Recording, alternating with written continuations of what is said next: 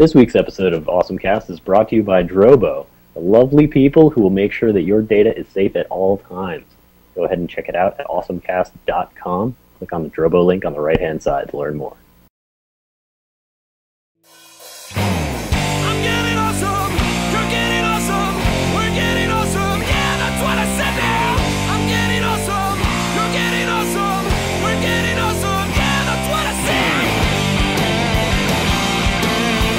Guys, it's the Awesome Cast 78 back again. Rob's here. There's Hey, Rob. Rob.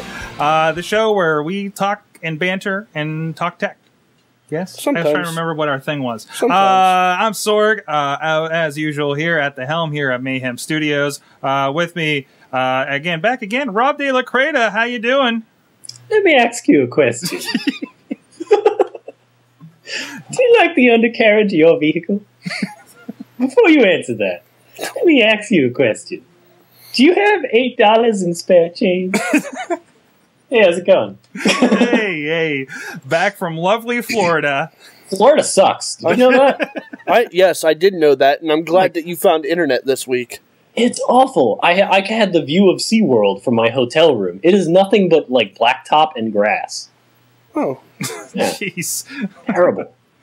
And uh, not out of town is Chachi. no, I'm on the couch. He's on the couch. I was on my phone. He's on the couch with uh, I put it away though. two. Hey. He's sitting on his phone, but he has the couch in his hand. Yes, It's true. I'm holding the couch. You're hol- holding it down. This is Holding it me down. holding the couch. Exactly. Uh, and with us, uh, back again. I return. It's a girl, guys. Settle down. Cynthia Closkey, how you doing? Fantastic, fantastic. Um, nice to see you. A big president of BigBigDesign.com. El Presidente. El Presidente of, uh, of Biga. I think it should be. Is it? What's the Is female of El Presidente? Yeah, I was Certainly just El thinking that Presidente after I is saw male. it. Le Presidente.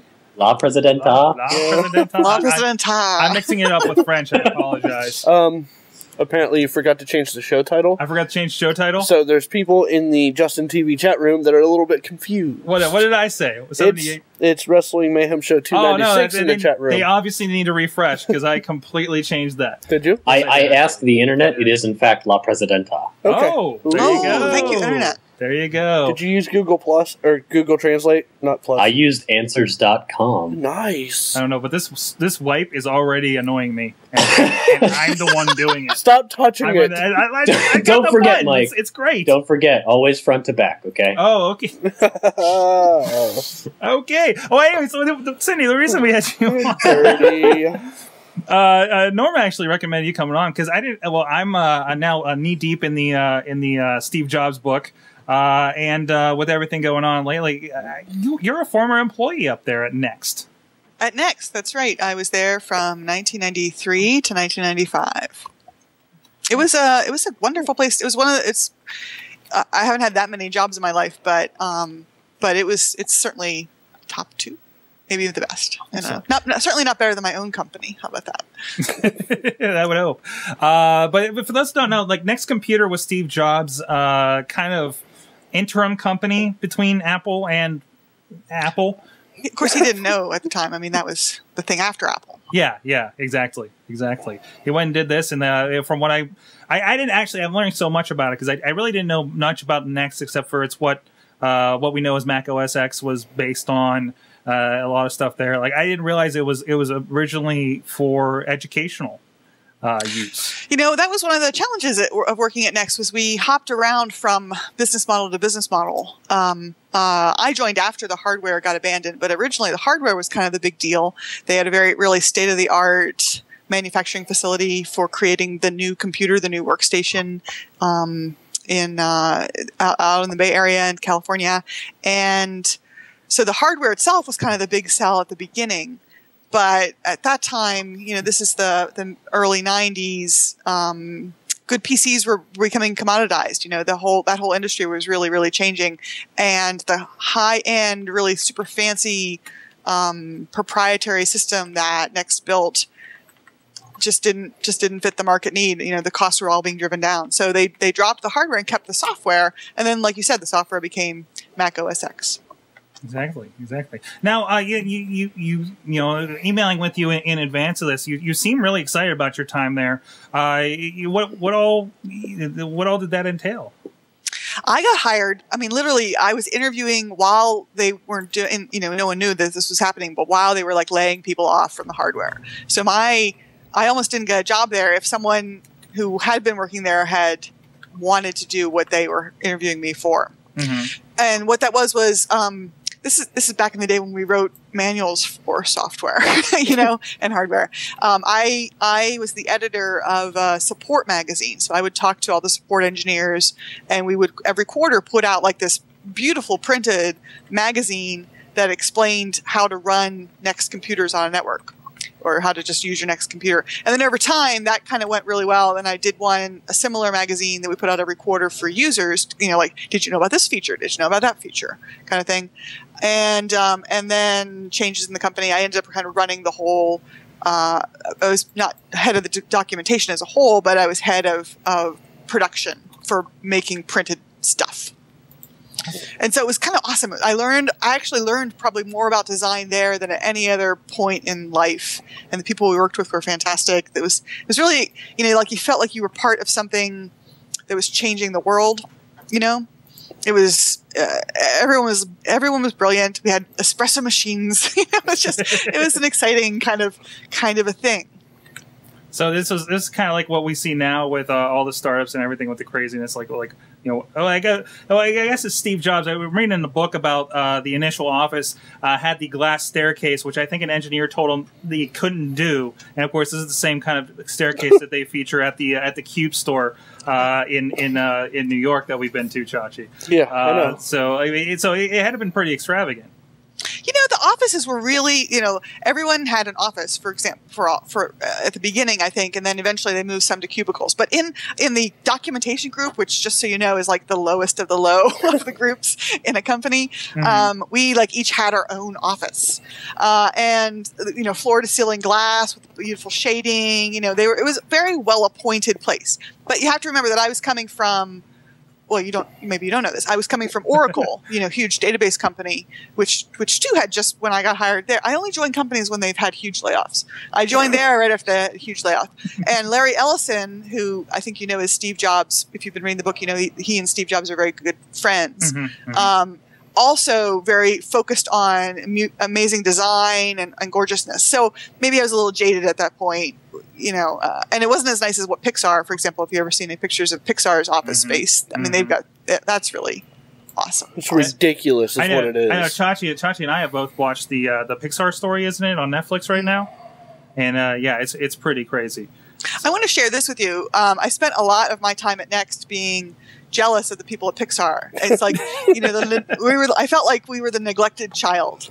That Steve, in those two two years, ninety three to ninety five, I just felt like he was spending way more time with Next than he was. I mean, with uh, Pixar than he was with Next. So you're So you were like the redheaded stepchild of uh, Steve Jobs' companies at the at the that's right. And I have red hair, so I really maybe felt it extra. Excellent, excellent. Now, did you have any uh, interactions with Steve? I had a couple. You know, it was a small place when I got there. Um, I can't. I, and you, I, I, maybe you can look this up faster than I can. It was either 250 or 350 people when I joined. Mhm. Um, so I didn't like run into him every day. Also, I was terrified of him. So, so there's that. But um, He- I met him at a, definitely- um, a staff me, uh, doc.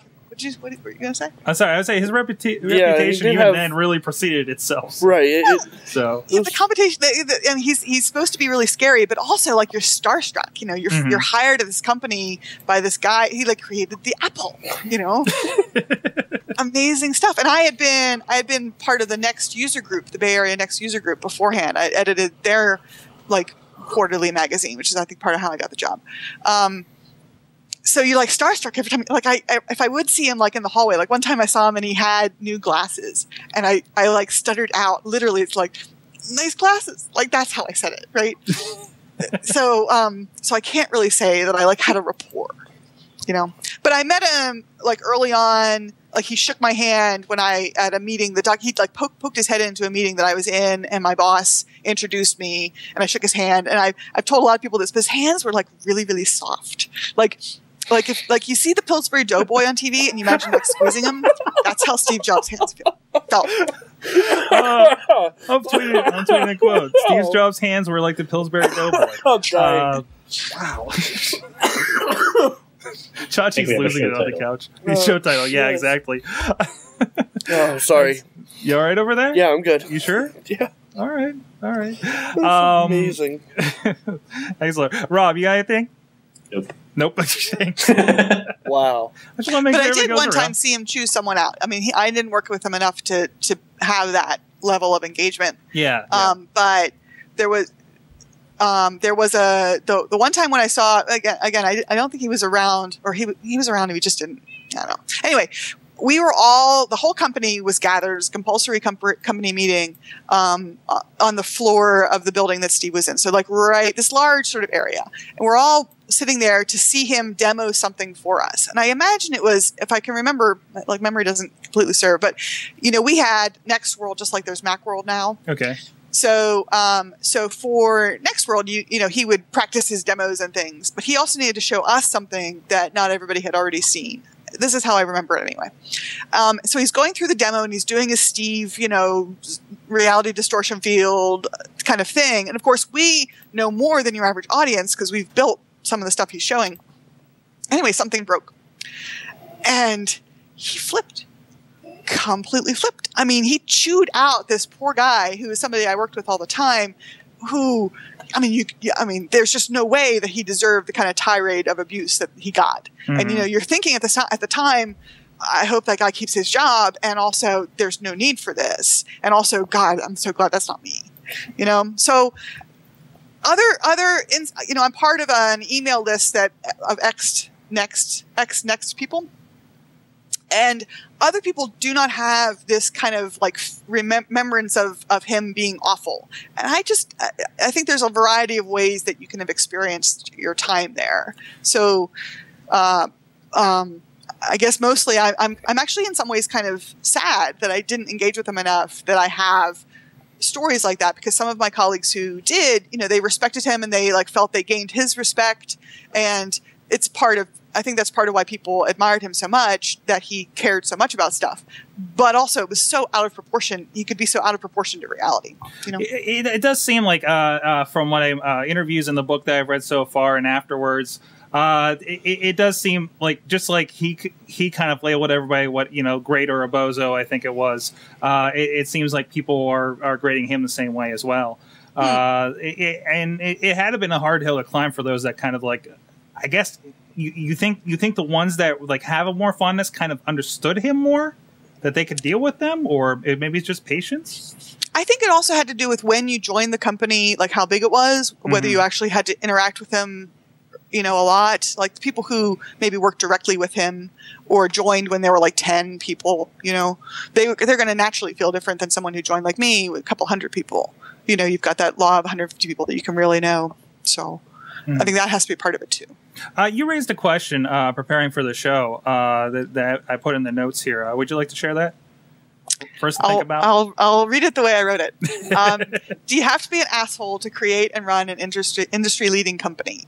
I've actually, you know, this has been a like a quest for me, kind of trying to figure this out. Because, like I said, I worked for Larry Ellison too. I think anyone will tell you that he's an asshole. Mhm. Um, and then I've worked for people who were not jerks, and then the companies did not necessarily get very big. Now, was it their personality and their way that they ran the company that made it? Was it the other people that they surrounded themselves with?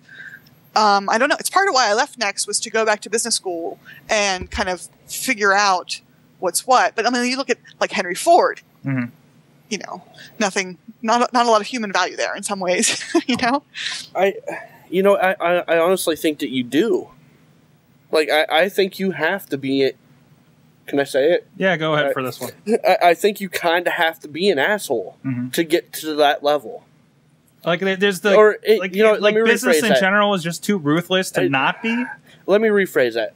You don't have to be a complete asshole to get Mhm. to that level, but you have to have that asshole mentality. Okay. because Yeah, I- I mean, you I- I have to be willing to to step up and tell someone when they're wrong or stop someone from uh, completely ripping you off or uh, screwing you over. hmm Yeah, I, I think that what it is is that you have to be passionate about what you're doing. Yeah. and expressing your opinion with like a gen. It's not a disregard to other people's opinions, but basically saying like, no, no, no, you just you just close your mouth and do what I tell you to do, and everything will be okay. Is mm-hmm. being is an example of being extremely passionate and wanting to achieve your goals, and it comes off as being an asshole. Right. You know, it, it's it's not hurt. even Rob's right. It's not even necessarily being an asshole, but even in everyday life, when you strongly voice your opinion You can come with, out like with an disregard for others, uh, you come off as an asshole. okay. So I mean, and that's the way you have to be, Mhm, mhm. or else people are just going to walk on walk all over you, and you're not going to get what you want, which is probably your main your main goal. There's got to be a difference, though, between saying what you think and chewing someone out for no real reason. Yeah. Right? Yeah. Well, I- no, no, yeah, you're right. Yeah. There There- is there's a difference. tolerance that comes with it, and usually the tolerance of a very passionate individual is very low. I mean, if if you are like just totally cool with what everybody's doing, then you're very laid back. Chances are, like you're not you, you you'll certainly achieve things, but you won't achieve things at like a speed like Steve Jobs was able to do. I, I think his real skill though was um, I was just I haven't read the, the bio of him, but I was reading Malcolm Gladwell's more recent article in the New Yorker. He's he's got two now, and this one I think really characterized Steve as I remember him. You know, brilliant and hard to be around. And what they, and how he calls him is, is he's like the, the ultimate editor. Like he takes other people's great ideas and realizes what's the good part of them, what's the bad part of them. And I think that skill is the important part. And he also just happened to be sort of charming and engaging and willing and able to like enlist you.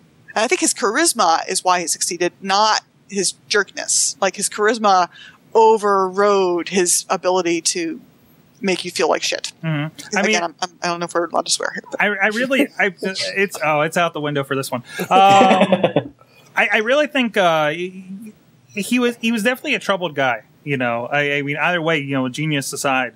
Uh, and uh, there was actually uh, one of the one of the shows I was listening to. I can't tell you if it was hypercritical or Mac Break that I was listening to it's all kind of blending together these days because they're all talking about this. Um, but they wondered like if he, you know, if Apple didn't happen and he had a nine to five job, if he even did that because he had a pretty hippie mentality back then, um, would he have dealt with the issues like? That very, you know, I don't know. Can you call it bipolar to that some extent? What the, the way he he reacted to people? I think that's a great way to put it. Is- I think it? I mean, I, I Yeah, I can't think- believe well, that. it wasn't moody though. It was No, just no. egomania.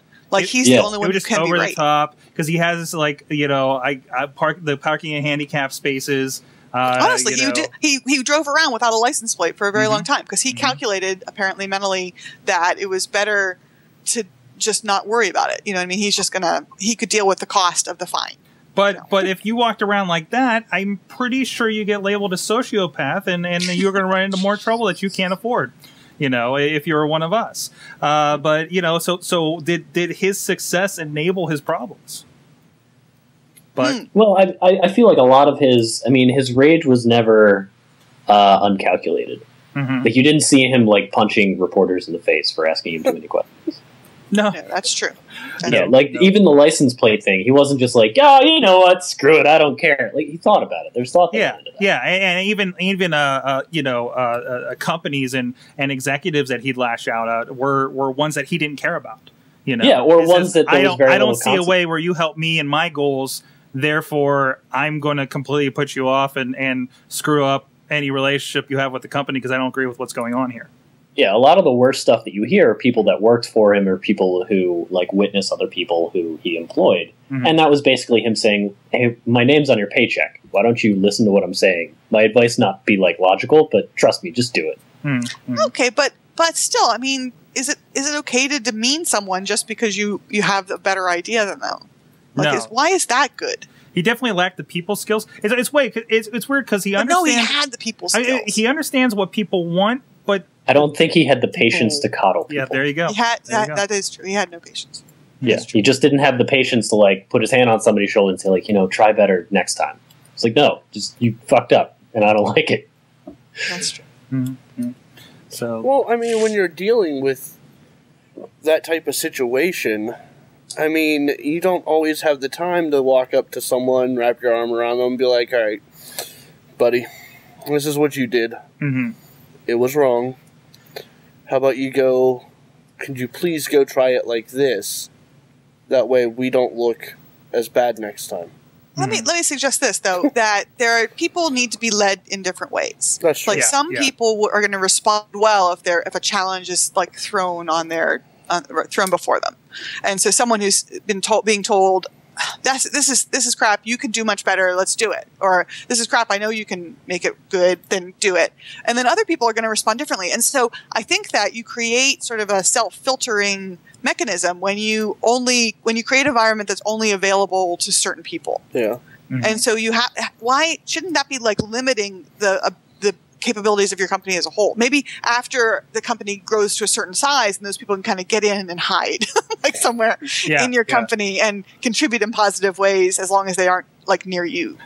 Or is it just you know uh, yeah the, the the limitations to you know the people that matched his vision i guess.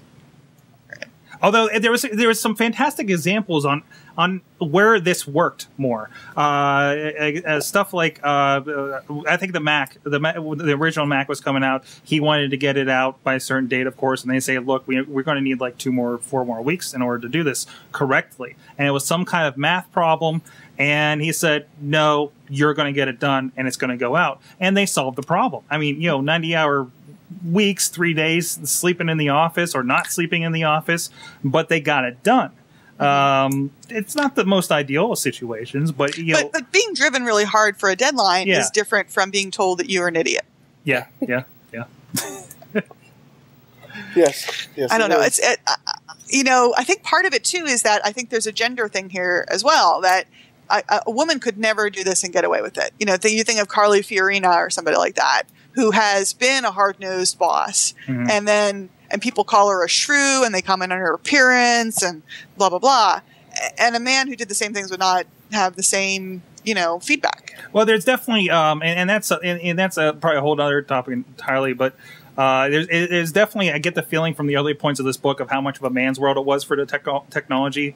All of I California mean, was, was like that. it was it was it was crazy misogynist. It was it was it was insane. I, I couldn't believe it. But it's like the '70s, and you know sensitivities weren't real great back then. Do you know when I when I was in college, um, I, uh, I I majored in computer science at the beginning, and I Mhm. wasn't doing terribly well in the electrical engineering stuff, and that's actually uh, that was my downfall. I, I just I can only do so many differential equations. I Mhm. kind of suck at it, but but you had to pass those to to get a, a CS degree. Mhm. Um, and so my advisor, he's like, maybe you should just do documentation.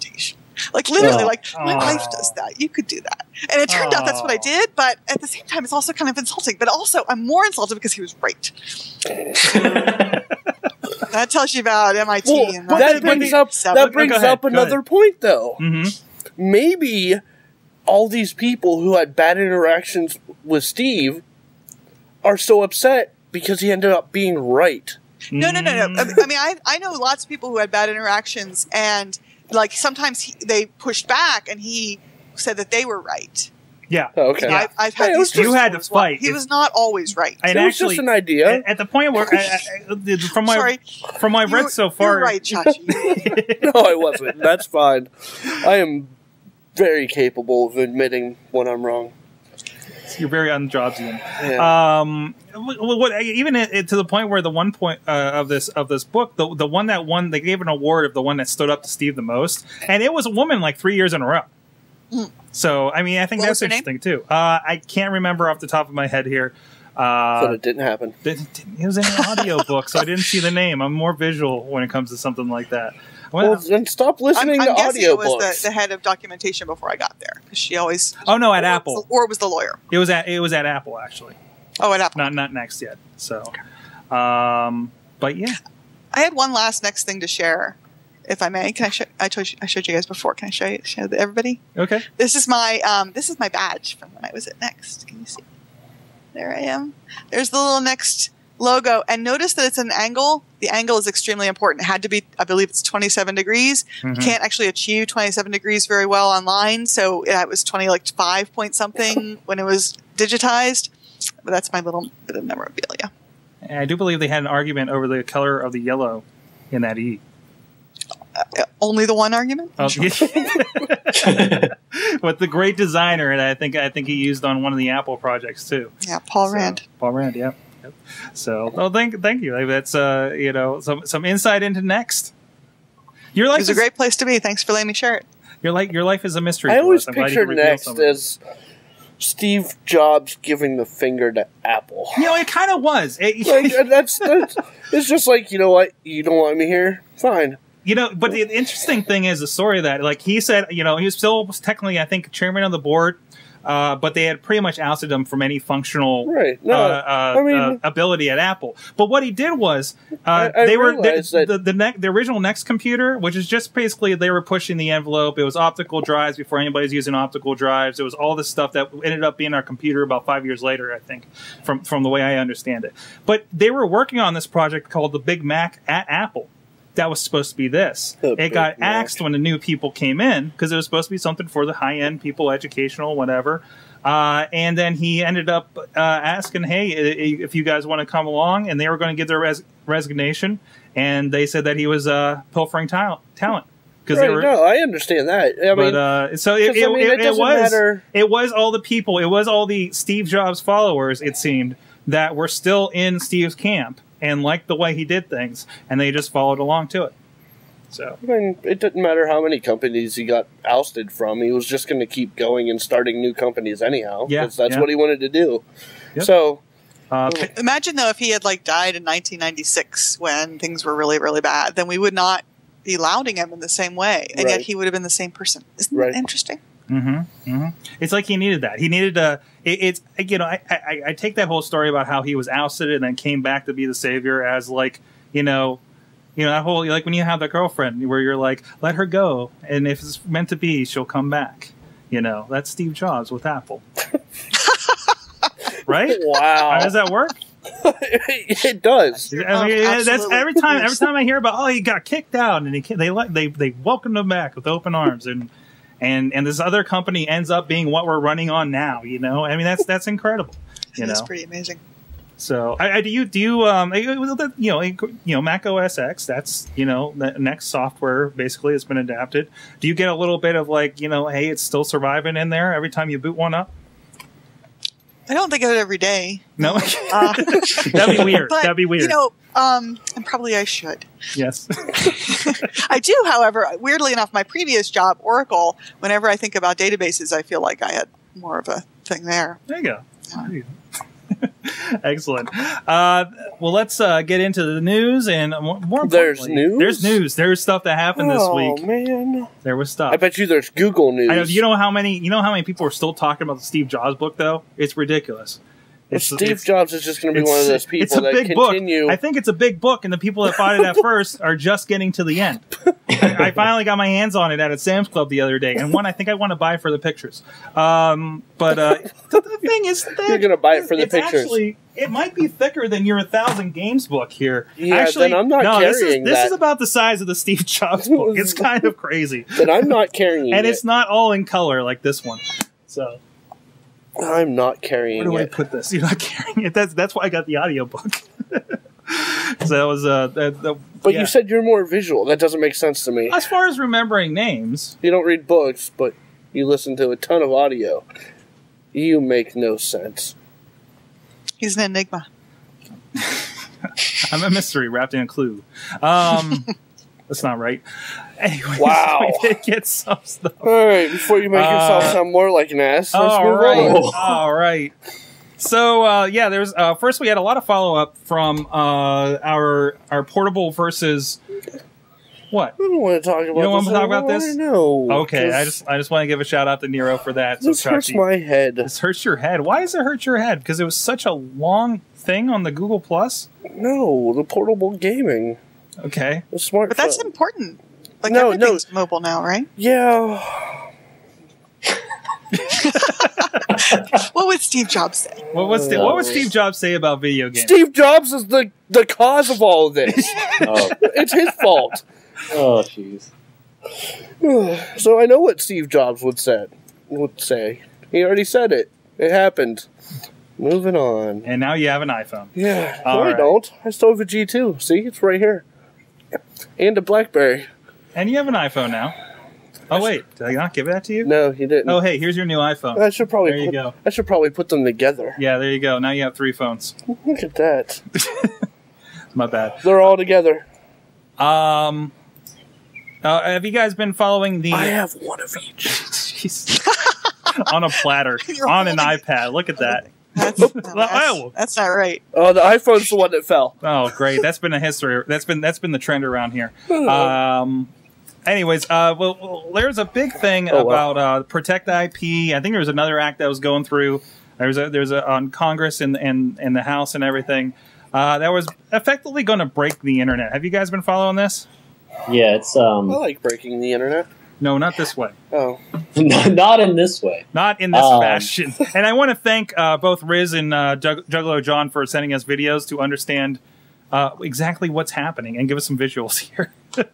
Uh, yeah, Protect IP is. Um, there was an earlier bill called the Combating Online Infringement and Counterfeits Act. COICA, if you will. I believe that's the Uh, one that would have made it illegal for us to lip sync songs. Mm, Someone Yeah. should do that. uh, it's similar to the the Stop Online Piracy Act, which I think is the lip syncing one. That's the one Okay. that was introduced on Okay. October 26th of this year. That's uh, SOPA. Um, so, put really simply, uh, this gives um, copyright holders access to stop uh, quote unquote rogue websites dedicated to infringing or counterfeit goods. Uh, one of the biggest problems with this bill is how vague all the wording is, which makes it so basically anybody who sort of kind of maybe may have mentioned at one time something possibly about something somewhere that may or may not have been copyrighted at any given time could be uh, subpoenaed and sued for all kinds of things and be quote unquote taken offline. But the only authority they have really is to um, they can go after all the supporting services. So, like, say for instance, um, say Mike, you uh, started an episode of Awesome Cast with uh, a song by Snoop Dogg. Oh, oh, I need to take that off the plans. Let's let's pretend that happened. All right, I did that. Snoop Dogg is the shizzy, and I want to use him for the. He's so awesome. I want him on the intro of the Awesome Cast. All right, let's do this, Rob. What happens? All right, so uh, this bill passes uh, hypothetically, and you use uh, Snoop Dizzy. Snoop Dizzle. Mhm. I cannot say that. Uh, Snoop D O double G. All right, uh, All right, as all the right. intro song once. Uh, Snoop Dogg is cruising the internets personally. One day comes across this episode of Awesome Cast. By Says, "Hey, that's not cool. That song is uh, copyright, and I want to get my ducats. So um, he starts to uh, starts the process of suing you. You know, whatever. There's a process there, but more importantly, he can go after all the supporting mechanisms. So he can go after uh, whoever your hosting company is. He can go after uh, any payment systems that are supporting the show. He can go after every single advertiser that is connected with the show. And the easiest thing for them to do, you know, is to, to pull the plug. Uh, but he can also go after the uh, the domain name system and have them pull awesomecast.com and make it so people can no longer type in an address to get to it. hmm So all of this can happen just because you did a thing that may or may not, you know, Hasn't have worked out. ruled on, right? Yeah, exactly. Um, and it really like the the bare bones um, of it is you basically have to do do do do do.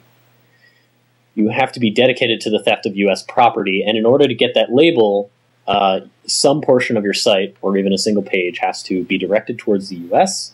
Uh, allegedly engage in, enable, or facilitate infringement, or allegedly be taking or have taken steps to avoid confirming a high probability of infringement. That's it and an IP rights holder can uh, can start processing things against you. So this is going to go after specifically things like Twitter, YouTube, where people are sharing um, copyrighted content quite a bit. Uh, and as like a lot of people say, it breaks the internet. The funny thing is, after all of these steps, if for some reason, like you know, say you're hosting it on your home box, hmm uh, they can certainly go after your your uh, your ISP to get that taken off. But that box still has an IP address.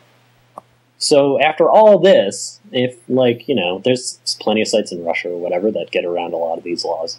Content's still going to be up. Nobody's going to shut them down. You can still type in the IP address, and nothing actually gets changed. But in the end, this is uh, the RIAA and the MPAA trying to get a workaround for any any like legitimate laws against copyright.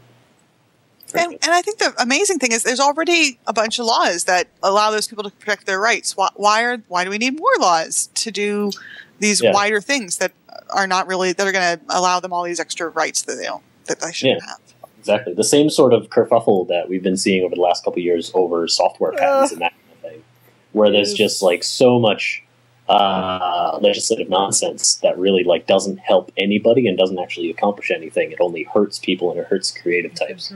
Uh, the same thing is being is being done to um, intellectual property on the internet, and this is you know every it's like every couple months you know net neutrality is really important, and Mhm. uh, if if this bill passes, you know it squashes net neutrality in a whole new fun way. and, it's been it's been attributed to this is pretty much what they do with the Great Wall, of Chi- the Firewall of China. You know, Mm. it basically makes the American uh, uh, internet systems as limited. Uh, or uh, the opportunity to be li- as limited, and, and and it's not China making the rules; it's the music and the and the movie companies, Yeah, it puts which is uh, even scarier. it puts an incredible amount of power in uh, in the IP rights holders' hands. And I mean, rightly so. As a content you know creator, I should be able to protect my content, but you should be able to protect your content like just as much as an officer cannot search my vehicle unless he has reason to do so. hmm Sort of business. Of but course- this is like. This is basically, you know, this is the sort of thing where an officer could knock on your door and search your house. Like we're talking about the same kind of stuff, but in an intellectual property.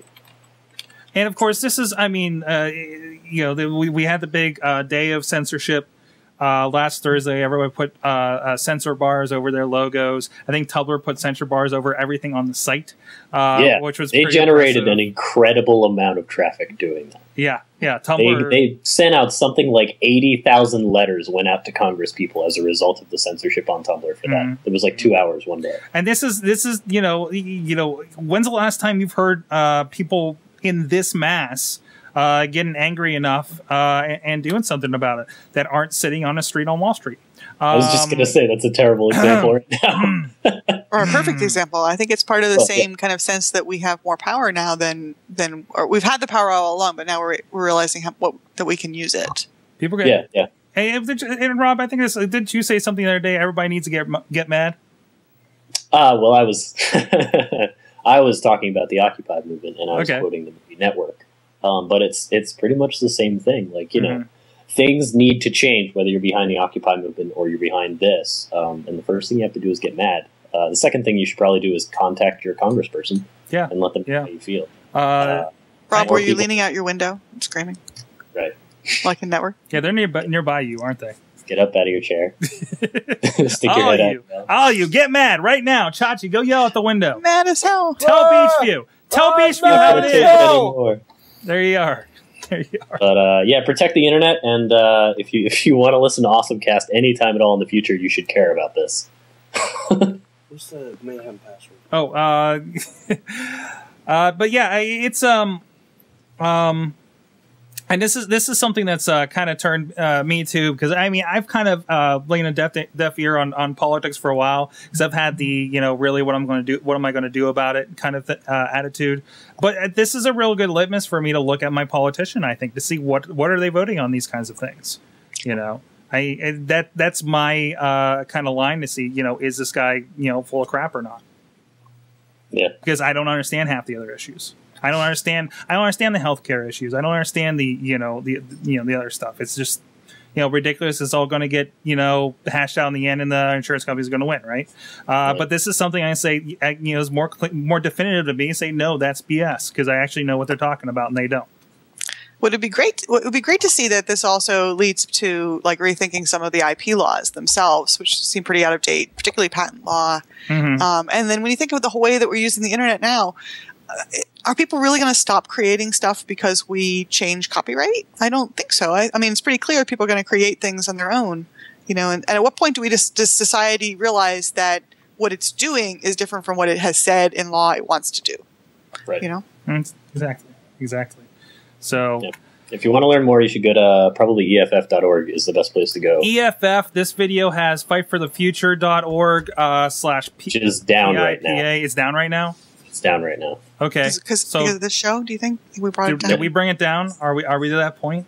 I don't. I don't think so. It was down for a while. Oh, Thanks, Rob. that's not useful at all. you just crushed his hopes and dreams. EFF.org for more information.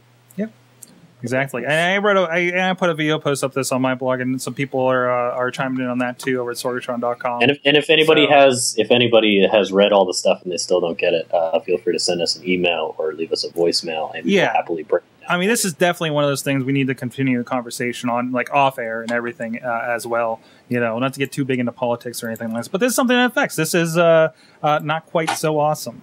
Uh, and I'll I'll uh, retweet uh, these guys uh, their their videos on the Awesome Cast account now, uh, so so you guys can check it out and, and get information on it as well.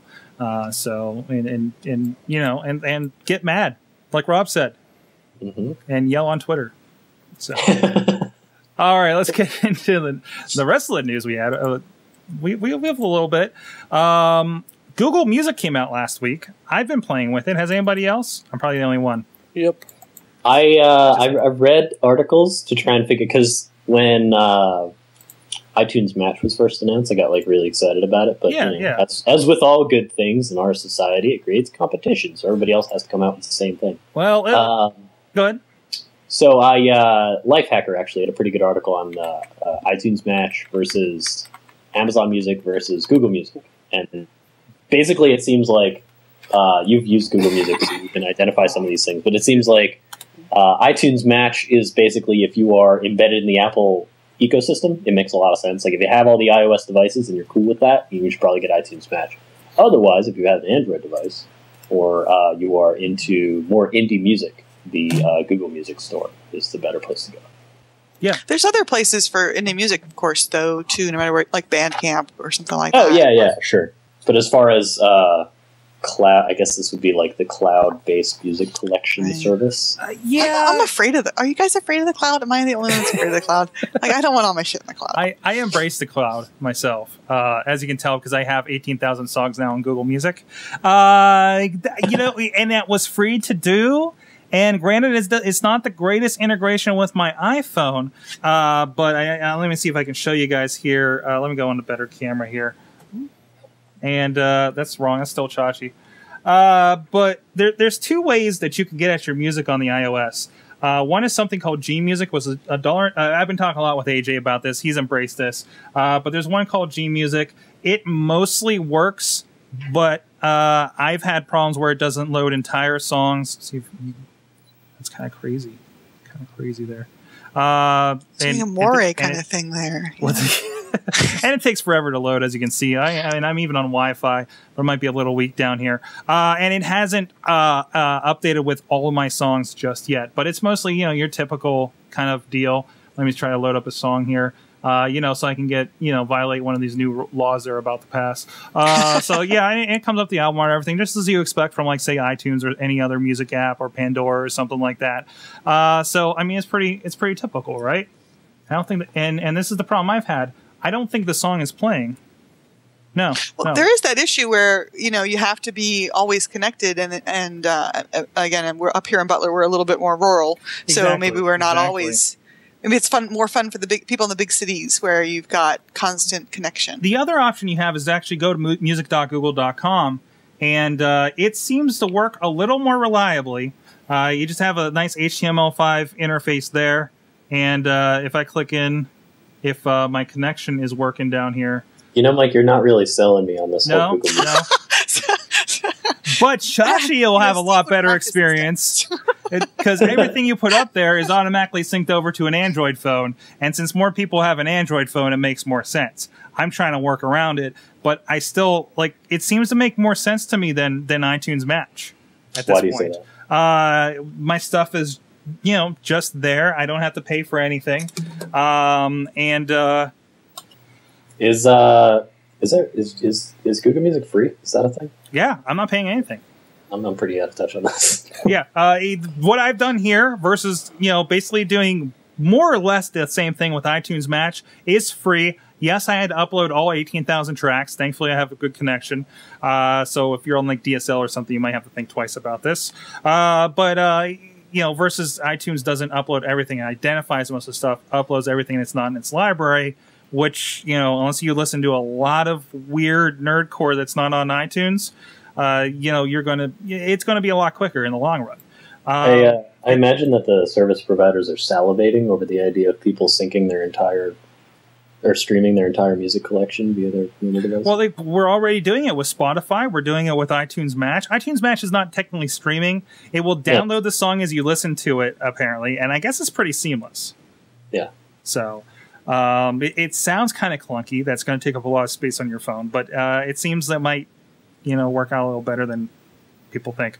But I, I was scared away from all the problems people had with identification at the beginning.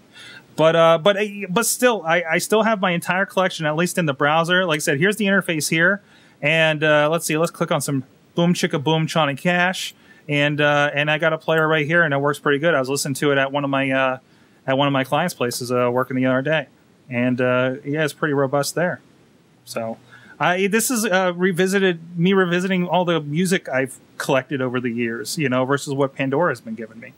What's Uh, happened with me is that like uh, uh, once I used to have you know like the giant collection of music. Mhm. that was like oh here's my first spare hard drive for one quarter of my music collection just like ungodly amounts of music. Uh, and then I got a laptop and my laptop spent a little bit on my desk I still used portable hard drives. And then my laptop because of just the way I work like became mostly mobile and I needed all of that space for for content, for video content, for proxy devices, things like that. Mhm. And suddenly there wasn't any room on the laptop for music anymore. So I still have a giant collection of music that I don't use that sits on my Drobo in a spare folder.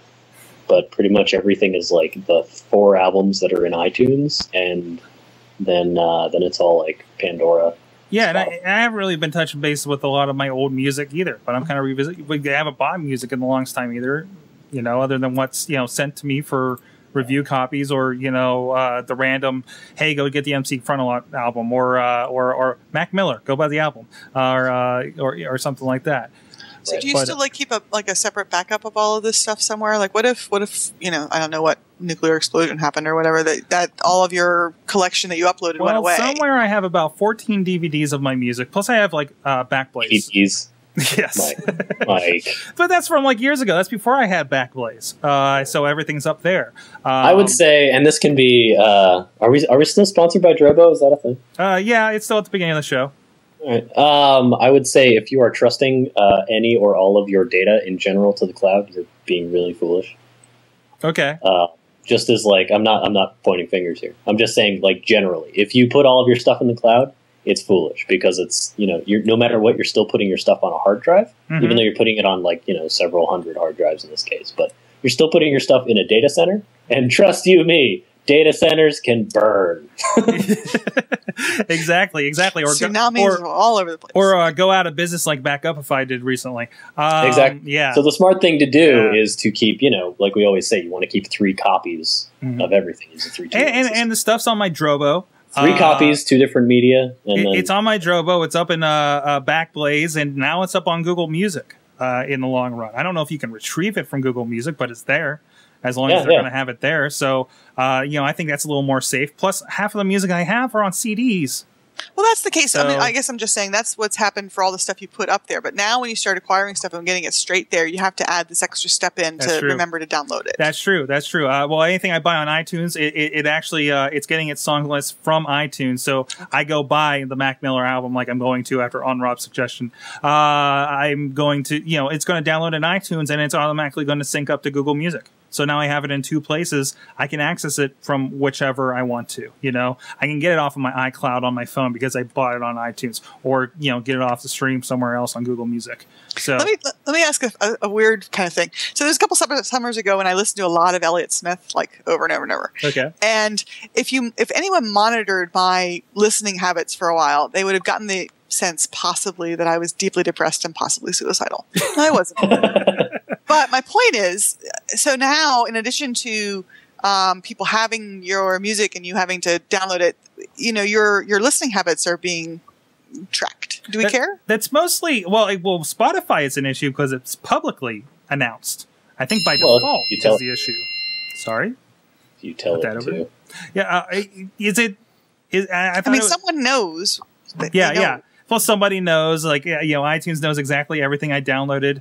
Uh, they have that ping thing as well. If you haven't set that up right in Google Music now, so I mean, real, I ooh, yeah, that that is an issue. I guess that, Well, that- it's it's one of those things that it depends on how sensitive you are to your own to your own privacy, Right, and, and it, right, right. it depends on how it's being used and, and all Mhm. that kind of stuff. I mean, if it's one of the we, we've had the talk on the show before about people who get really upset about when they find out that when they use the little dongle at the supermarket, that the supermarket keeps track of your buying habits. Right. Mhm. It's it's, it's the exact same. I mean, if, if I buy so- a lot of mayonnaise, man, my cholesterol is probably not that good. You can draw these conclusions. Right, right, right. Uh, I, I asked more as a devil's advocate than anything else, but uh, you know, it does feel kind of. I don't. I don't. I'm not sure at what point I'm going to decide I don't want people to know what I'm doing. It's But I feel like that point is going to come. it's like leaving that uh leaving that thing up where the uh the the art for the movie you watch uh on on Netflix comes up in your Xbox account. You know, Mm. does that does that color what you listen to or watch or anything like Hmm. that?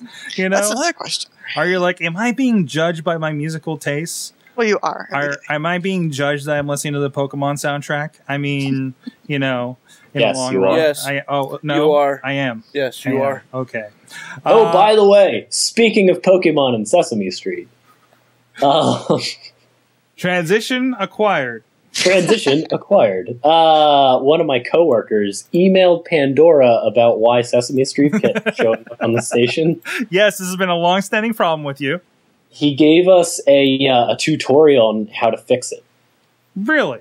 Yeah, like no kidding. Let me see if I can pull it up really quick. There's a step by step process to figuring out why your Pandora station is is playing really weird things, and it's it's apparently Pandora is. Uh, I've got the email. Here. So they are aware of the problem. This is like a bug, apparently. Uh, it's it's not a bug. It's basic. It's kind of like that you let something slide. Like you didn't declare an opinion Oh, about so- something, so so, it's- it got added as a seed. So it's your fault. Yeah. Uh, he said. Uh, this is There's not like some N. one weird guy who like has the same taste in you in one thing and then also is like really into Pokemon. You know what I mean? Like the Uh, system is like you don't know, but you could like Pokemon. It could happen. Uh, this is Josh M from Pandora Listener Support. He says, uh, What's likely happening here is that you have an errant seed that is in the station definition. This can happen very easily when you add variety and don't read the entire name. Additionally, sometimes a listener may add a name that they think is one thing but is actually another. You should take a look at the definitions of the stations on which you are hearing uh, songs that are wildly out of place. Select that the station that's causing you trouble. Click on options under the station name. Click uh, station details, and on the station page, you will see the artist seeds and track seeds. You can click on the X next to any of the seeds to remove them. Oh wow! about that? There you go. I love the phrase errant seed. Errant seed. Sounds dirty. It does. It does. also could be a show title. Um, but other than that, the Google Music is interesting. It, it- it's obviously uh, another step to integrate Google Plus. Uh, if you're an independent artist, you can go make a page. It doesn't take much. I'm actually considering testing it out and throwing some old uh, uh, of our rap songs out there uh, that I know are, are legal. Uh, you know, just to see see how it does. You know, uh, but. Uh, uh, you can you can oh this is the other interesting thing if you uh, buy i believe buy a song and share it on google plus everybody in your circles can listen to the entire song once It's very not a preview not a preview or anything like that they'll actually listen to the whole song so if you buy an album you just you could just share that entire album with your Once, 100 and uh, what do i have 30 some people in my circles once. so once But Once. still, I that's- to more. That's that's a pretty big step for the record industry that wants to break the internet. So Well, what they're hoping is that, that your friends on Google will listen to it once Mhm. and then want to buy out- it. Yeah, I mean that's the it idea. It seems to make sense, right? So, uh, you know, why not? So until someone is creative creative enough to create a grabber tool. well, it's not. Well- it's a once you're playing the song, it's not hard to grab it off Right. of that. So yeah, they already exist. I mean, if you can hear it through your speakers, I can make a copy of it. Mhm. Uh, Rob, I know you're very in tune with the political things going on. You're getting angry. Uh, like, have you heard about the Occupy? Occupy Don't just stand there. Get angry. I'm going to get angry. Are you? Have you heard about the Occupy Flash movement, Rob? Get a job, hippies. I threw something. Get a job, Flash hippies. Occupy Um, so there was all right. Let's ahead, talk about ahead. idiots on the internet. All There's right. Occupy Flash, which is uh, the sort of thing that if you read Daring Fireball, they're basically saying the same things that John Gruber's been saying for years, Mhm. uh, giving pro tips on you know you can still use the internet without Flash, uh, which is it works. If you're really against Flash, then you know that's that's great. Uh, and then the Occupy HTML thing uh, is uh, a misnomer because they're not like when you think about okay, Occupy Flash. But this whole thing, I hate using the Occupy name as like a funny thing. it's the in thing now, though. so bad. Uh, so the Occupy Flash people are supporting getting rid of Flash. The Occupy HTML people are saying, "Wait a minute, Flash is good every once in a while. Let's not lose our pants." What?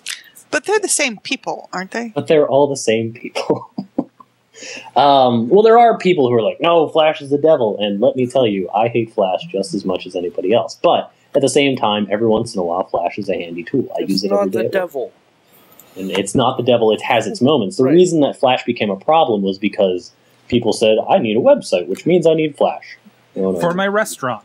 Yeah for my restaurant oh get me started Look at my dancing chicken. um, flash is a tool just like html5 is a tool and javascript is a Drumstick, tool Ruby drumstick, is a they all have their applications but if you try and use you know a monkey wrench to open a bottle of beer like yeah it works but it's not smart Uh, uh, oddly, I have a picture on my Instagram of somebody just doing that.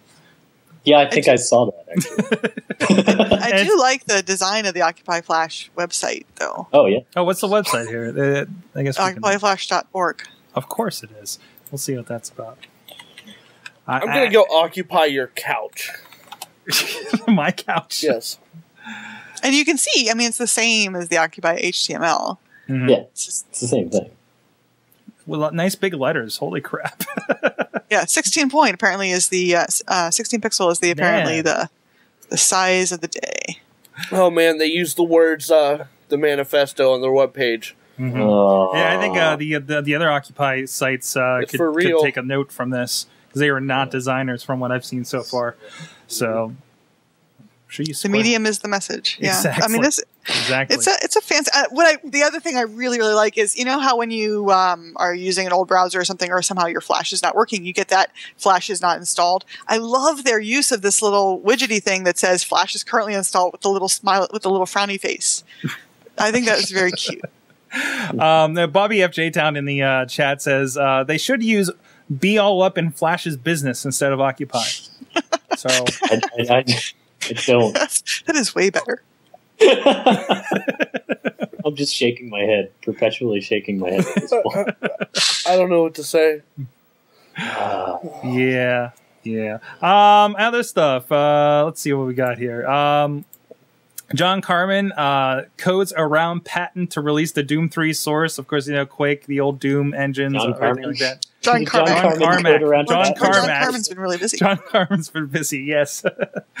uh, but apparently, uh, since they, they put out Doom 3, and oh my god, was it 2003 that they did this? Um, Creative Labs apparently uh, independently developed a very similar method for rendering shadows in a 3D environment. Although the technique is commonly known as Carmack's reverse, according to The Verge, uh, the patent went to Creative, so the lawyers didn't really uh, weren't really cool with that going out to the public. Uh, so they just uh, so John Carmack uh, took a afternoon with a bottle of whiskey and just coded around it like a coding wizard that he is. So as um, long as that code remains free, everything's good. But exactly, code- exactly. So- loses. Salvation Army. Oh, go ahead. Doesn't that just kind of talk about how like lame uh, the um, the patenting is, you know, for code? Because there's like got to be twelve ways to code anything. Yeah, Sure. yeah. Yeah. It's it's it's it's a functional thing. It's like it's like it's like patenting, uh, you know, taking uh, uh, uh opening a Coke bottle with a wrench. Guaranteed. Or you know, Can't just use- ma- it just reminds me tool, how you know? angry I got when Amazon, I think it was Amazon, patented the one-click buy. Like Yeah. how lame! Like that's Yeah, a business yeah. model? No. Or the uh, the swipe, the swipe to unlock. And now I, I think the Amazon the Amazon Kindle swipes the other way. The horrible thing That's awesome. It's, We're gonna have uh, like little gestures for how how you do different unlocks to get around IP. Yeah, rules. yeah. Does it? Does it don't, don't am, uh, Android devices have this like pattern going on over there? yeah. Yeah, it's it's a dual uh, a dual swipe method. Mm-hmm. Um, one, and I don't know if you can you can see. Oh, no. one of them one of them unlocks, Try and the one. other one, like if I do, this is hard to do backwards. Hold on, wait. You have the other camera. I Hold do on, have- Let's go to the other. let's camera. do the crotch Go, try that. Try the crotch cam But uh, and speak into the mic. I I can't do both. so uh, this one unlocks, and it keeps my screen settings are really quick. This one unlocks, so if I Okay. and this one, Demonstration. uh, Because nobody has an Android phone. yeah, it changes the volume settings. Okay. So if I now the the ringer's on, Okay. but now the ringer's off. I know But still a slide. I don't know. Maybe it they're is. playing the royalty It's- or something. They There's- there's all just weird. they all slide. yeah. Yeah. So. There- There's just it, the whole patent, and it's not even just software patents. As somebody who used to work for an inventions company, I can tell you that regular old patents are plenty broken as well. Right. Mhm. right. mhm. And for every you know, for every like one click buy interface thing, there are legitimately hundreds of other patents. There's actually a, an agency that is responsible for you know checking to see if a patent is legitimately unique Mhm. and it was brought before Congress. It has been several times. That basically saying like, okay, let's take a random example. Here's a patent for a thing. Well, here's five thousand other things that are exactly the same thing, but somehow they got approved by the patent agency. Oh. No. I mean, if we're going to have patents, it's it's a severely underfunded agency. It's it's ridiculous, and then and yet we hold it in this huge esteem. It's like a huge part of our economy. It Mhm. doesn't make Yeah. any sense. at all. It's, it's something that's so underfunded and doesn't get like in in the in the like keeping the books kind of way does not get the support it needs. But at the same time, if you infringe on someone's patent, it means you can take their life away from them. Right. Get angry. Oh, get mad! That's the next thing. Occupy patents. Uh, how, does it- how does that even occupy the patent office? It's a small place. Stop sucking. Yeah, it was. Stop sucking. I'm into that. Okay. so, to tell me about the futures of entertainment. I went to this conference. Uh, I this is the this was Futures of Entertainment five, and I had also gone to one. It was cheaper then, um, and this was at uh, up at MIT, and the the folks running it are focused on sort of like the convergence of media, but also looking at. I mean, we talked. It was, so it was a very MIT conference. We spent. Um, Two solid days sitting in a very nice classroom, um, listening to panels of people talk about things. And then in the back, there's like a back channel running and people like criticizing things on the back channel. It was, it was kind of glorious that way. It was good fun. a lot of twittering and, and chatting and stuff like that too. But, but we talked about all sorts of stuff. We talked about, um, they talked about, and then we, we griped about, um, new models of funding, crowdsourcing, um, lots of stuff about fan bases. For, for some reason, I don't, I, maybe you guys, do, you- do you guys watch any soap operas? Um, No, I can't say that I do. Yeah, when I Neither do I. But but but Actually, yes, the we most do. interesting fan bases in the world are the soap opera fan bases. They're very active online. Wait, Chachi, what was that? I said yes, we do. We watch wrestling every week. That's true. Sometimes three times a week. Right. Well, I That's a perfect example. I watch once a week. So, uh, uh, sorry, you were saying? Um, and so that kind of stuff. That there was a lot. There's a lot of talk. Uh, there's a lot of study about soap opera fans and how they interact with each other, um, how they keep the shows alive by protesting, how they interact with the sponsors to help the sponsors make the shows stay alive. You know, there's been some good case cases recently. Mm-hmm. Really fun stuff. Uh, and you linked a couple of things here. Uh, Wreck a movie. Uh, This is interesting. So there's this movie um, called Iron Sky, and and you need to check out the trailer. It looks like an interesting movie. The premise I've of the movie is this: that in 19, um, you know, at the end of World War II, all the Nazis disappeared, and what they did was they all got on rockets and went, and they've been living on the dark side of the moon. They've been living on the back of the moon, and now they're coming back oh, next year. This is the premise of the movie. And so, what's interesting about this, it's being made in Europe, is that they are crowdsourcing the movie. They're like the script and, and like the guys that are in charge are in charge. It's, they call themselves a benevolent dictatorship. Um, so they are making all the creative decisions, but they are inviting input from people online and they are inviting people online to contribute things like how to do the graphics for the spaceship and so you, through this crowd, crowd, and they're also inviting people online to, to be funders and to get you know executive producer credit and blah blah blah. Um, but so what's interesting is uh, to me the idea that you would invite people, you know, they have a call out for people to contribute like the sketches for the ship or like the, the rendering of the ship, um, and people would contribute knowing that they're not going to get paid, but they're just going to get credit. mhm. You know, interesting. It, yeah, it's, and then John, John in the chat room, and I agree. I, I've heard of this before, and I, I can't remember why, uh, but this has definitely come out of something. Uh, it might be making the rounds on cons or something like that. But uh, Now, Wreck a Movie is is the is like the infrastructure for making the crowdsourcing happen, Okay. and it's open. It's available for anyone to use. I think for no charge to crowdsource your movie or your short or your video. so it's like a more kind of in-depth Kickstarter sort of thing, maybe. Right, right. Interesting. It's not just money, but but more more creativity. Mhm. Now, what was interesting also was ha- hearing the guy, you know, the, the um, I think his name is Timo, was the guy that was at the panel saying that the uh, and there was there were a couple other crowdsourcing people there. They all had to build their own tool for doing the crowdsourcing, and all of them are like really jerry rigged. Like behind the back, behind the scenes, they're it's like completely hacked and, and kludged, and it's Nice. basically duct tape, electronic duct tape. Um, and so that's what this these things are kind of running on. And I've I've heard similar things about Facebook, the way that it's written behind the scenes, that it's you know it's stuck together by spit and, glu- and gum. You know, uh, probably a little bit better now, but um, than it was a couple years ago. But uh, but I think that's interesting too, that, that people are whipping this stuff up and throwing it out and creating a whole new market. Interesting. Interesting. Um, yeah, yeah. It, it's uh, this is a day and age where you know there's there's really curious ways going on. I, that, that's a pretty cool. I can't wait to see how something as hodgepodge as that uh, might come together. So Oh, so the movie is going to come out. So Yeah, keep yeah. your eyes open. Iron Sky. the trailer we were playing said uh, uh, April fourth, twenty twelve, I believe. So uh, go watch out for that. So uh, you also got one in here, uh, Cow Clicker. I this actually uh, Justin Kanaki had I think Facebooked this or something. I thought it was hilarious. Uh, I don't play Farmville, but this guy, there's a guy who hated Farmville, hated it to the point where he created a parody game called Cloud oh, Clicker.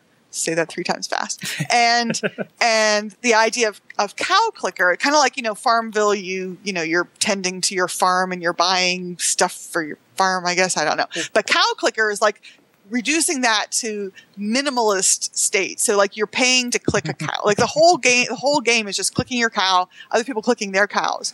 And so people Oh, no. like different, um, different media watchers and journalists liked it because they could see the parody aspect of it. But a certain number of people just thought it was a game and thought it was enough of a game that they were playing it and kind of liked it. And they're like paying to like turn their cow the other way. You know, I mean, just crazy. Uh, it, kind of, I think that it, it would be interesting if someone was a graduate student and kind of wanted to look at incentives and how people interact with things online, and how games work. It would be a perfect case study to study like what is it about just I, I, this was such a simple, ridiculous game, like simpler than tic tac toe, that it would be a perfect case study for what it is about online games that we are hooked on. So, um, I actually went to it and the cows are gone, and it says, "Where did the cows go?" The in the news, it's cowpocalypse now. They had a, the Um, um, what do they call it? What what is the thing when all the people are gone that we were supposed to have twice this year and it's? Revelations Uh, yeah, the um, or uh, uh, The, r- the reckoning. reckoning? or- No, mm, Um, uh, we're all gonna hate each other when we realize what it is. the re- It's it is That- rapture, rapture. Thank you, Yeah, chat room. yes. Thank you, chat room. Thank you, Bobby. Cow spit on Wow. my keyboard. I was so excited. away. And they're all replaced by just their shadows, like their shadows. are Yeah, it was really weird. But so, and the people are c- clicking the cow shadows because they're clueless. That's fascinating. It's fascinating. but you can still go and pay to uh someday To the cows are gone but you can still still still can supplicate and perhaps someday ensure a second calming no. Oh, that's funny. so you can still pay you know 4000 credits i don't want to hit the pay now because i'll probably end up spending money by accident uh wow wow like you, I think that it, for all of us, it's an important. Uh, if you're trying to create some kind of a social media thing, it, it's a, this is a good case study in how you don't know how people are going to perceive your thing. You don't know how they're going to react to it, and incentive systems are hard. Like trying to create the proper incentives. This was another thing they talked about at Futures of Entertainment. There, um, there was a guy there from Groupon. Uh, no, not Groupon. Uh, a guy there from Gowalla, and Mhm. there was a researcher there who had studied. Um, uh, what is the thing that I do all the time?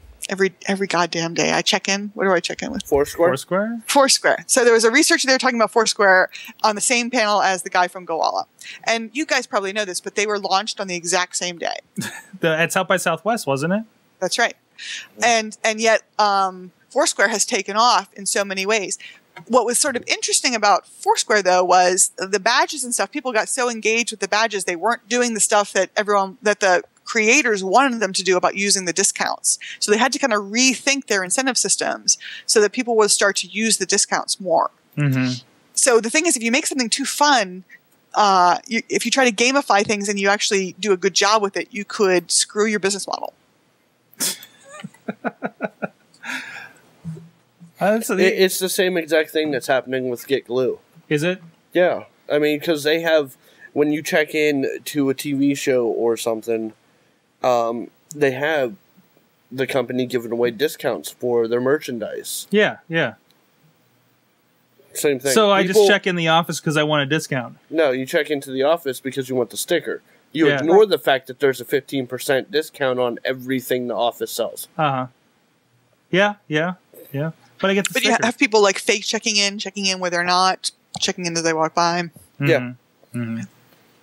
But Gowalla has all these ideas why they're going to they they've like they totally rejiggered their plan. Oh yeah. Um, and They- this guy, the guy actually who was there on the panel, used to sell jet planes to very rich people, and he's now the guy doing like I, I didn't I forget his. You can look on their website and see his exact title. He was sort of very interesting just as a person. I don't know. I hope he never watches. Well, maybe he'll watch this video. Hi, guy. You were very interesting. Um, Hello, you. but but his whole the, the whole like rethinking how they were going to go after they already had an established base that's a really hard problem to kind of think of how you're going to try and make money now when your first plan didn't work. That's a challenge interesting challenge. And what their what their plan is is to kind of work more with it sounded like they're they're spending a lot of time with Disney with the way that the Disney is doing game um, the, the way that Disney um, theme parks work um, and try and create promotions around around that more branded kind of stuff all the way along and they're kind of viewing foursquare as like doing your everyday stuff but gowalla is now going to be your passport to the world does this make does this sound about right Mhm. so like gowalla is where you go when you're doing something that you wouldn't ordinarily do Yeah, and foursquare is where you go when you're doing the same thing you do every day yeah, go, yeah. Gowalla is like the place you. I, I, I went to. Rob went to Orlando, Florida. Doesn't know what the heck to do there. Hello, Gowalla. What do I do? You know, kind of thing. Nothing, because there's nothing to do in Orlando, Florida. Definitely not internet. Um, like I'm still trying to figure out. Like I, I just installed the other day because uh, he was on uh, TWiT talking about Oink, which uh, oh, this this camera here. I because I don't see what the incentive incentive is. It's like uh, everything else. You just like it's everything you like. Like uh, and apparently Kevin Rose is the only one on it. Uh, I I uh, Kevin loves Digg 1.0. Kevin loves stats uh, and food and, uh, and- and yeah, where, I don't know what where they're going with that, but you know it's a 1.0. So Does that show? what's that, Rob? Facebook kind of already do that. Yeah, yeah, I, I- Like everything. letting you like seems to. anything. Yeah, it, it- it's really. I, I don't. I don't get it. It's oink, I don't You know. it either. But but it's a People, they, they were we were talking about that too that that facebook becomes sort of where your souvenirs are like you go to a place and where in the past maybe you would get i don't know a sticker or something to put on the outside of your suitcase Mhm. now you take a picture and you put it on facebook so you see it but more but just as importantly everyone else sees it and so you're both remembering it for yourself and signaling to other people what you've done Mhm, mhm. And then the questions come up recently. So when's the last time you haven't shared something you liked? Oh that happens all the time So, I'm gonna um, start keeping it all for me. yeah, Yeah, that's your life. It's just for you. Sharing nothing with anyone. It's all for me. Okay. On that note, I think we should wrap up here because Chachi's starting to uh, need his crazy pill. So, uh, Cindy, what's going on with you? What can people go check out? Uh, uh, what, what, what you're doing? Uh, well, my, my company is is bigbigdesign.com, as you so generously pointed out at the beginning of the at the beginning of the show. Um, I'm trying to blog more, and get back into blogging on mybrilliantmistakes.com, um, and uh, doing more theater blogging. So I'm, I'm I have a I have a I have a hookup at Pittsburgh Irish Classical Theater now. Big thanks to them. Um, there's really good theater in Pittsburgh. I need to remind everybody that there's um, sometimes it's fun to actually be to watch something with other people sitting next to you as opposed to just always online. And um, Pittsburgh Theater is good for that.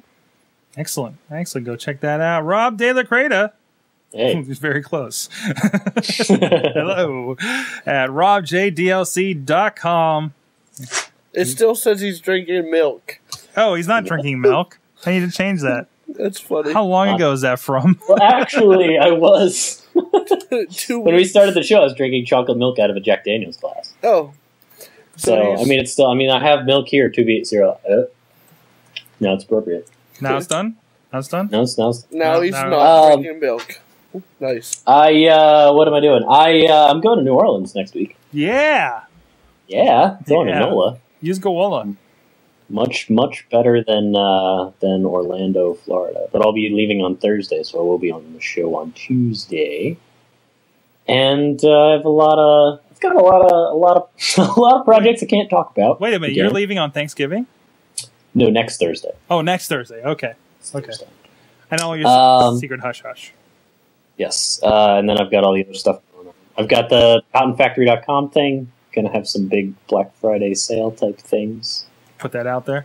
Put that out there. Uh, if you uh, if you use Bugzilla and you've ever encountered the uh, server not um, not crunching CGI files error, uh, if you could send me a message, that'd be great. Uh, uh, and uh, yeah, I don't know. Well, I'll have uh, I'll have some cool things to talk about shortly when they're not so hush hush. Excellent. Lies. Excellent. Transparent monitors. That's all I'm saying. You still working in the. Ooh. Ooh. You still we were just talking about that at work. Yeah? Yeah, like how we wanted the uh, the transparent monitors from, and this was just the example that we are using, but from like uh, Iron Man and Iron Man Two, when he's down in his lab and So, like, um, what was the other movie? The John, the um, Tom Cruise movie Minority with the hand Report. Minority Report. Yeah. Is this what we're talking about? Like this goofier? Yeah. Something like that? Anyways, Chachi. Yeah. Chachi says .net. Yeah. Chachi says the vidcast. Yeah. Yeah? Yeah. Yeah? Everything else. What, can, you give us a preview of what's coming up on Chachi says the vidcast? Nope. Please? No. Please tell the people what you're going to do. I can't. Are you changing it? No. Then tell the people. No. It's Thanksgiving week, man. It doesn't matter. Okay. No. Well, there's your hint. Chachi's just not going to help. Me, I'm at No, sorgatron.com. I am. No. And I posted a blog today. You're fired. I posted a blog today. There's the door. I, it's over there. Get out. I'm going to go yell at people and get angry. get angry at Chachi! All right. Um, but uh, yeah, I've been posting videos and stuff there too about my thoughts and stuff. So it's amazing wanting to do that when you have a front facing camera. Um, so yeah, go check that out and check out everything we're doing here at awesomecast.com. Uh, and uh, hey, hit us up on email at contact at awesomecast.com. Two, uh, 724-258-cast is the uh, is the phone number if you want to send in a voicemail. And of course, we are at awesomecast on Twitter. We're on Facebook. We're also on the Google Plus where we had a big long conversation about uh, some of the topics on last week's show. If you want to continue conversation, all those are great places for you to do them. Just uh, text us, tag us, however you want for this is episode awesome cast 78 uh, for everybody you have been a great chat room an awesome chat room even. And you have been our awesome audience. Have an awesome week. Who wants to unlock my iPhone?